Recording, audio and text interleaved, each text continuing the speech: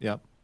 When you think about uh, the work that's been done so far, and I know it's you know it, it, it's relatively early early days uh, on that work, but when you think about the work that's been done so far and sort of how that's being framed up, um, do, are, are you seeing the principles of surge manufacturing that, that Kayla referenced that you described a little bit earlier aligning with the work that's taking place at R3? So things like modularity of design, single-use technologies, um, and, and, if so, like what what kind of major major central tenets of surge manufacturing do you see kind of playing out in the work that you're doing?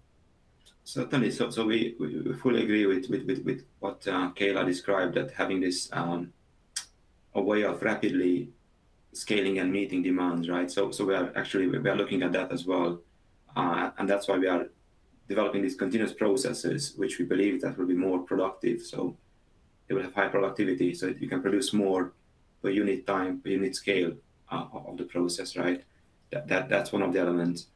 I, I think when Kayla was presenting that, one question that came to my mind was whether she also means having like a spare access capacity dedicated for, for response or somehow maintaining some kind of a spare capacity rather than having to scale up each time, having some kind of a readiness capacity there. And that, that, that's kind of my, my question. Maybe we can get into that, you know, in a bit.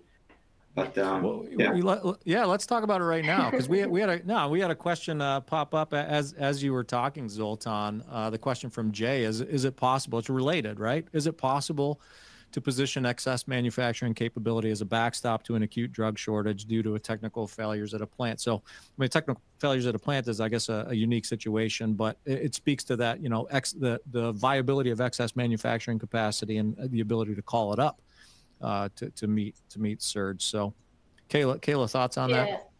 I think um, the idea of like process trains, right? So if you're able to take similar equipment and use it for a small scale and then size it up, right? Maybe even it's just increasing one tank size, but it's all similar um, capabilities. You're able to kind of move things around, right? You're able to replace just a 50 liter single use mixer with a 100 liter single use mixer, and you're able to kind of fit that all and move trains around to be like, all right, we were making 20, now we can make 50, now we can make 100. And then you duplicate your max build out that was quick to increase into another whole set of train. And I think being prepared and having potentially additional, you know, mixers that maybe are a size slightly bigger, you're running them at 20 liter, but the whole capacity is 50 liter, allows you to kind of do that increase quickly, if that makes sense. Yeah. Yeah. Mm-hmm. Zoltan, what, what are your thoughts on that?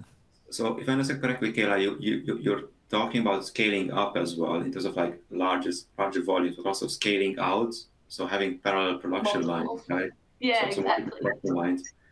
Um, yeah, I, that makes sense, and probably the combination of the two can be quite interesting to explore for for, for readiness, right? And um, but they do come with certain trade-offs, as you can imagine, right? So, um, for example, at least in my head, if you would want to maintain a capacity dedicated for outbreak response, right? For example, right now, there is there aren't commercially viable products that you can make with RNA, right? Um, well, the, you, there are the COVID vaccines, obviously, but then these are being made already, and the demand is going down at the moment because the pandemic is tailing off, right?